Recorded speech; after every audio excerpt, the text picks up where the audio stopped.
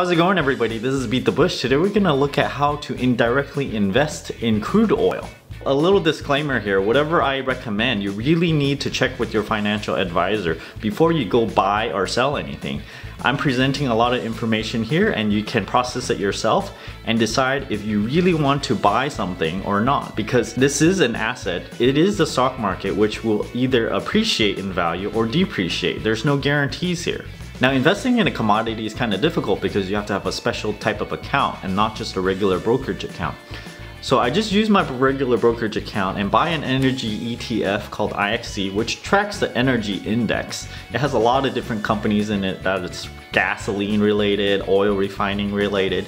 So it somewhat tracks the price of crude oil pretty well. So it's uh, pretty liquid so I can buy and sell it anytime I want and that's the preferred method for me. So to cut to the chase, I actually bought some IXC and the rest of this video is really about analyzing crude oil and kind of projecting where it's gonna go in the future. Of course, we really don't know where it's gonna go, so this is just an analysis and I'm gonna give you this information and you can decide on your own. Crude oil was hovering around $100 a barrel and now it dropped all, all the way down to 30. One of the major factors is that the US is doing this uh, hydraulic fracking thing where in a really long time the United States hasn't really produced any oil for a really long time and all of a sudden it's pumping all this oil into the market and is essentially oversupplying the market. Take a step back and we gotta understand that crude oil actually makes gasoline, which is the major component. It also makes jet fuel and it also makes a lot of different plastics that we use. Everything around us that's made out of plastic. On top of that, they derive chemicals out of gasoline and it's actually in a lot of our foods. Yes, we actually eat some of the crude oil. So now we know we have a lot of demand for crude oil because it goes in everything that we even eat or use. The world population is increasing and so there's always going to be a higher and higher demand of crude oil. If you just look at the world population, it's going up. Therefore, the demand for crude oil is gonna go up as well. It's kind of looking something like this. The thing to know is if you draw a line of supply over this land line of demand, if it's over, there's oversupply. If it's under, it's undersupply. It tends to look something like this. It's It gets oversupplied, undersupplied. It try to hovers around whatever demand there is in the world.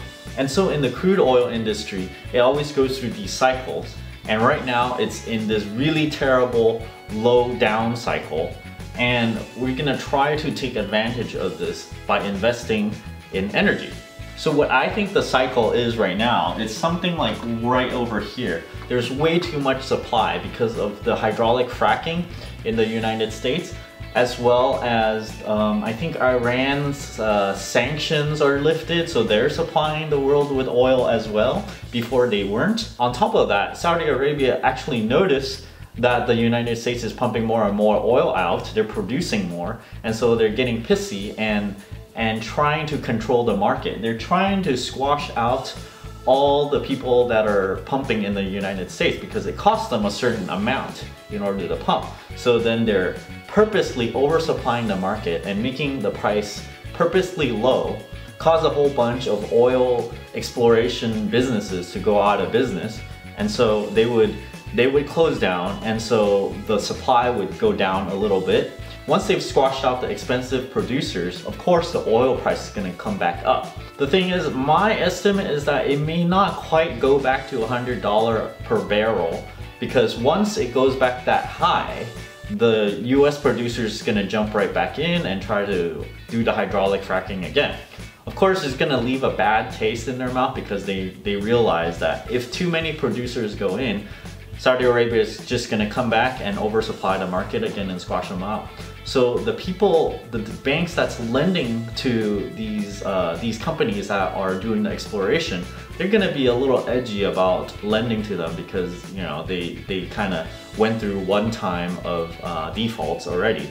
So it's gonna be a little bit higher. It's gonna bounce back uh, quite a bit before the hydraulic fracking can start up again.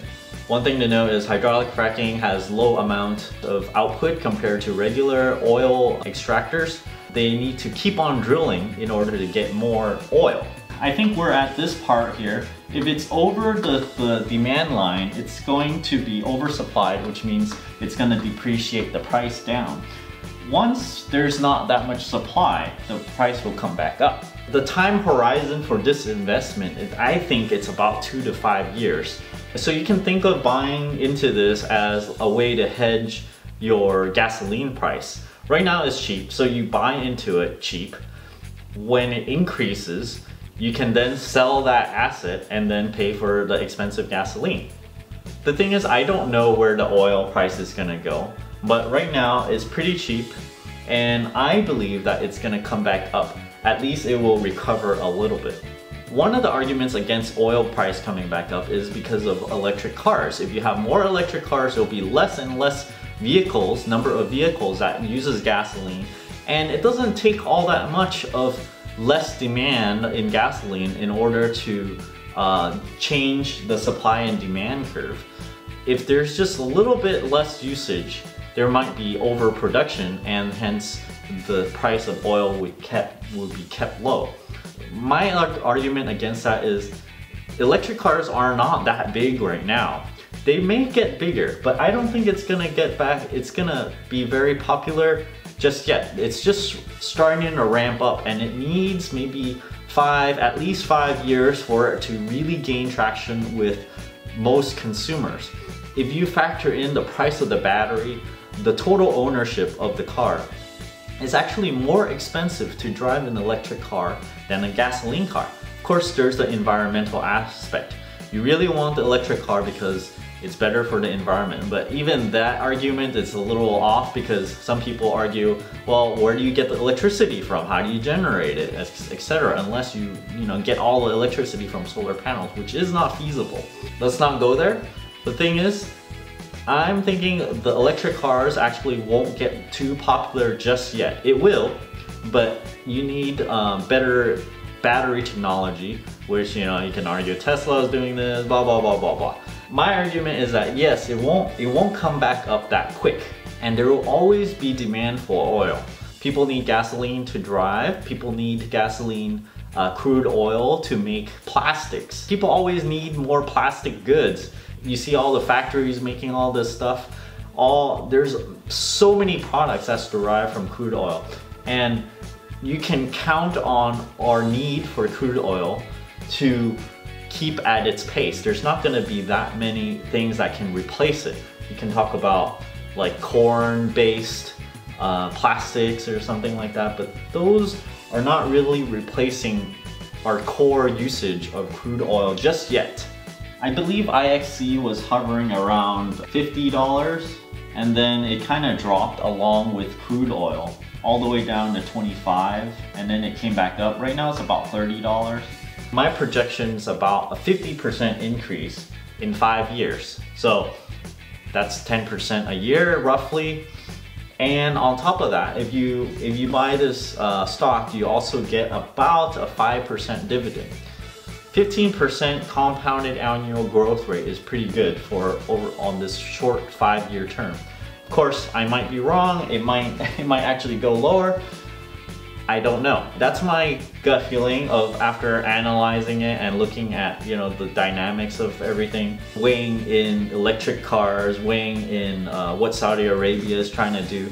I really think they're probably able to do it. They, they, they, they're playing hardball here because they're staying firm with oversupplying the market. They're, they, they normally supply the market a certain amount. They refuse to lower the price in order to stable, stabilize the price. Saudi Arabia used to be in that position where if the price fluctuate, they would adjust their supply accordingly in order to stabilize the price.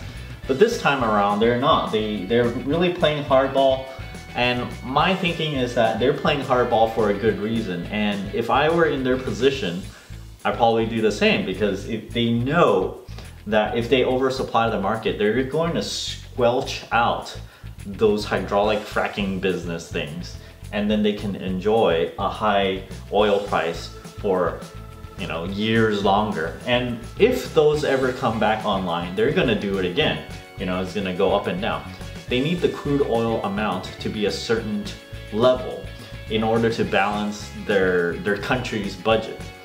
Now, they have a good stockpile of money, but that stockpile of money will run out if they extend this for too long. So they can do it for a good duration, five years maybe of, of pushing it low, but I don't think they're gonna keep it low that long because I think if Saudi Arabia keeps their supply really high and the price of crude oil low for even maybe one more year, those hydraulic fracking guys are probably gonna give up and they can finally raise their price again. It's gonna go trickle back up. With those things in mind, you can decide on your own if investing in crude oil is a good thing or not. For me, I actually did buy some IXC. My target for that is, is for it to increase by 35 to 50% within two to five year time frame.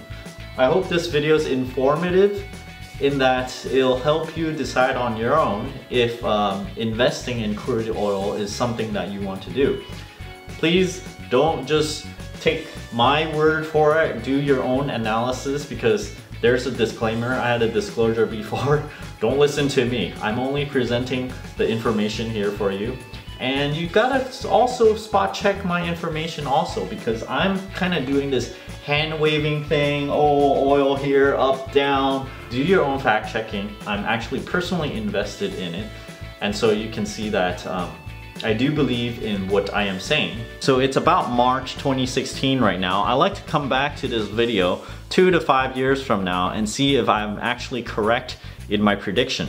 Prediction is kind of fun. So I did do my due diligence in order to try to minimize the risks there. It is an ETF fund, which is an aggregate of many different companies, not just one single company. I'm recommending one single uh, ticker although that ticker is a combination, a component of many different companies. So the risk there is somewhat distributed, but if oil, crude oil prices keep on staying low, which I think has a really, really low chance of doing, uh, you could lose value in whatever you invest.